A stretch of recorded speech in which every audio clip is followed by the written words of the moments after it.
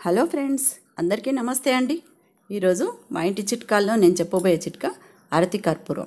ఈ అరతి కర్పూరంను మనము ఎన్ని విధాలుగా అయినా ఉపయోగించుకోవచ్చు కానీ నేను చెప్పే చిట్కా చాలా ఉపయోగపడుతుంది మీకు. ఒకసారి ట్రై చేయండి మీకే తెలుస్తుంది. ఈ ఆర్తి కర్పూరంలో బిళ్ళలు ఉంటాయి కదా ఈ ఈ ఆర్తి కర్పూరం బిళ్ళలని మనము ఇక్కడ షింక్ దగ్గర ఇట్లా కిచెన్ ఎక్కడైనా ఈ కిచెన్ ప్రాంతంలో ఎక్కడైనా కిటికీల్లో అంటే మనకు చిన్న చిన్న దోమలు వస్తాయండి. ఆ సన్నటి దోమలు అస్సలు పోవు. మనము ఏవి ఫ్రూట్స్ కొని పెట్టుకున్నా అంటే కోసి పెట్టుకుంటే మాత్రం తప్పకుండా వాళ్తాయండి. మీరు గమనించి చూడండి. ఎలాగో ఎక్కడి నుంచి వస్తాయో తెలియదు మేమైతే వంటకట్టనే కాదు. మేము షెల్ఫుల్లో మళ్ళీ ఇలా ఎక్కడ అంటే అక్కడ అలా అన్ని చోట్ల పెట్టేసి ఉంచుతాము. అయిపోయిన కొద్దీ మళ్ళీ పెడతామండి. ఎందుకంటే ఓ పదిహేను రోజులు ఇరవై రోజులకు మళ్ళీ అవి కరిగిపోయినట్టుగా అయిపోతాయి. మళ్ళీ పెడతాం.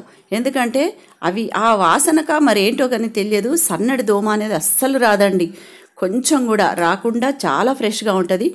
మనము డస్ట్బిన్ దగ్గర కూడా సన్నడి దోమలు అవుతుంటాయి ఏ అంటే కవర్లో పెట్టినా సరే డ డబ్బాలో పెట్టినా సరే ఎక్కడైనా సరే నేను అక్కడక్కడ ఇలాంటి మొత్తము బిల్లలు పెట్టేసుకుని వంటింట్లో కూడా మనం డైనింగ్ టేబుల్ మీద కూడా అక్కడక్కడ మనం బిల్లలు వేసుకున్నాం అనుకోండి అవి ఏంటంటే ఫ్రూట్స్ ఏమన్నా కట్ చేసినవి ఉంటే సపోజ్ మనం కొంచెం అప్రమత్తంగా లేకపోతే ఆ వీటికి దోమలు చేరి అసలు మొత్తం మురికైపోయి మనకు అసలు తినాలనిపించదు.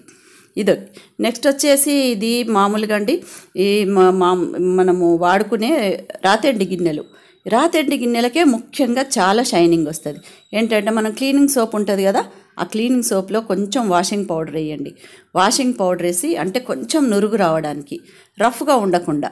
ఇది కొంచెం ముగ్గు పొడి అండి. మనం వాకిట్లో వేసుకునే ముగ్గు పొడి. కొంచెం ఇలా కలపండి. చక్కగా దీన్ని మనము చక్కగా ఏంటంటే ఈ రాతండి గిన్నెలు అంటే మామూలుగా మనం వా వండుకునే ఏ గిన్నెలైనా కూడా రాతండి గిన్నెలు ఇవి ముఖ్యంగా తెల్లగా అయితేయండి చాలా సూపర్గా ఉంటుంది. ఇది చాన్నాల నుంచి మా ఇంట్లో నేను చేస్తున్న చిట్కాలండి ఇవి. ఇలా తోమి చూపిస్తాను చూడండి మీకు ఎంత నచ్చుతుంది తప్పకుండా. ఎందుకంటే నేను అబద్ధం కాదు చెప్పటము. ఇది మా ఇంట్లో చేసుకునే పనేనండి. ఇలా బాగా రుద్దుకోవచ్చు. అది కొంచెం రఫ్గా తలుగుతుంది చేతికి. ఏంటంటే అది కొంచెం ముగ్గు పొడి కదా అందుకు. కానీ ఈ రాతండి గిన్నెలు మాత్రం చాలా సూపర్గా తెల్లగా అయితే బయట లోపల ఎంత బాగుంటాయో నైస్గా మెరిసిపోతుంటాయి. మనము స్టీల్ గిన్నెలు కూడా తోముకోవచ్చు. కానీ అవి కూడా చాలా షైనింగ్ వస్తాయి.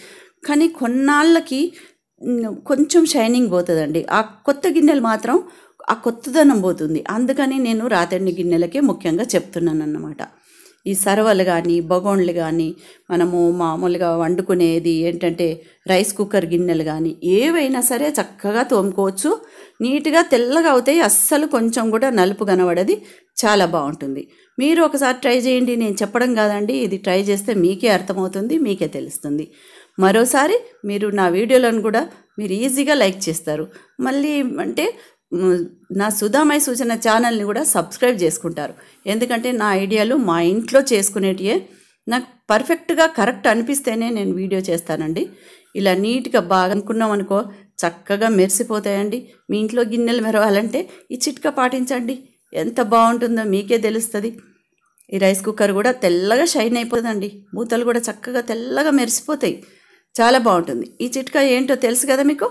మరి తెలిసినప్పుడు ఎందుకు? ఒక లైక్ చేసి మీరు ట్రై చేసి లేదంటే మీరు ట్రై చేసినాక లైక్ చేయండి పోని. అలాగైనా నీకు నమ్మకం కుదురుతుంది నా మాట మీద? ఇలా తెల్లగా అవుతున్నాయి. చక్కగా తోముకొని మనము అంటే షెల్ఫ్లో పెట్టుకున్నా కూడా అదిరేటి మెరుపు కనబడుతుంది గిన్నెలకు. చక్కగా ఉంటుంది అదన్నమాట. నేను చేసేది చెప్తానండి ఎప్పుడు కూడా. చేయండి చేయంది చెప్పను. మామూలుగా నాకు నమ్మకం కుదిరితేనే వీడియో చేస్తాను ఎప్పుడు కూడా. ఇదండి. మరి నెక్స్ట్ వీడియో వచ్చేసి అంటే ఇప్పుడు మామూలుగా ఫ్రిడ్జ్ మనము ఊళ్ళకి వెళ్తామండి సమ్మర్ హాలిడేస్ అని ఫెస్టివల్ హాలిడేస్ అని.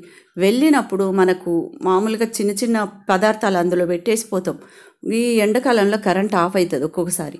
ఆ వాటర్ అంతా జారిపోయి మరి పదార్థాలు ఖరాబ్ అవుతాయి అలా. లేదు మనం అన్నీ వాడేసుకొని ఏమి లేవులే అనుకున్నప్పుడు సపోజు ఇలా నేనైతే ఇలాగే చేస్తానండి. ఎటు పోయినా కూడా ఫ్రిడ్జ్ ఆఫ్ చేస్తాను. మొత్తం తుడుస్తాను. ఒక అరగంట ఓపెన్గా పెడతాను. మొత్తం ఎక్కడ చెమ్మ లేకుండా బాగా తుడవాలి. ఎక్కడ ఏ కార్నర్ కూడా వదలకుండా చక్కగా మొత్తము తుడిచేసి ఒక అరగంట కొంచెం సేపు ఓపెన్ పెట్టండి. ఒక అరగంట పెట్టారంటే ఆ కాస్త ఏమాత్రం ఉన్నా గాలి ఆవిరైపోతుంది. అంటే అది మొత్తం చక్కగా ఉంటుందండి.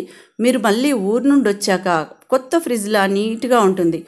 నాకు ఒక అనుభవం అయిందండి అందుకే నేను ఈ వీడియో చేశానన్నమాట. ఒకసారి ఇలాగే పెట్టేసి ఊరెళ్ళి వచ్చేటప్పటికి అంటే సరిగా తుడవకపోవడము కొద్దిగా ఏదో తీసేసి వదిలేసిపోయినాం. అంటే కూరగాయలు గట్ట అన్నీ వాడేసుకున్నాం వదిలేసిపోయినాం. పోయే వచ్చేటప్పటికి ఎంత బూజు పట్టేసిపోయింది అసలు. క్లీన్ చేయడానికి చాలా తల మునకలైపోయాను అన్నమాట అందుకని ఇలా మళ్ళీసారి జరగొద్దని నేను ఈ చేయటానికి మీకు వీడియో చెప్పడానికి కాదండి. ఇది నేను జరిగిన నాకు ప్రాబ్లమ్ని మీకు తెలియాలని. ఇంకా నలుగురికి తెలియాలి కదా? నాకు వచ్చిన సమస్య అందుకని ఈ వీడియో చేశాను. మీకు నమ్మకం కుదరకపోతే ఆలోచించండి. కొంచెం మనం క్లీన్ చేసుకుపోతేనే ఫ్రిడ్జ్ ఎంత నల్లబడిపోతుందో. అలాంటిది వదిలేసి ఊళ్ళలోకి పోతే ఎలా అవుతుందో అర్థం చేసుకోండి. ఈ వీడియో నచ్చాలని అనుకుంటున్నాను ఎందుకంటే సమ్మర్ సీజన్లో కానీ ఫెస్టివల్ సీజన్లో కానీ ఊరు వెళ్ళినప్పుడు కొంచెం ఖాళీ చేసుకోండి. ఫ్రిడ్జ్ ఆఫ్ చేసేయండి. మొత్తం క్లీన్ చేయండి. ఆఫ్ చేసి పెట్టిపోండి ఎందుకంటే కరెంట్ హెచ్చు తగ్గులున్నా కష్టమవుతుంది. ఈ వీడియో నచ్చితే తప్పకుండా లైక్ చేయండి ఫ్రెండ్స్కి షేర్ చేయండి. Thank you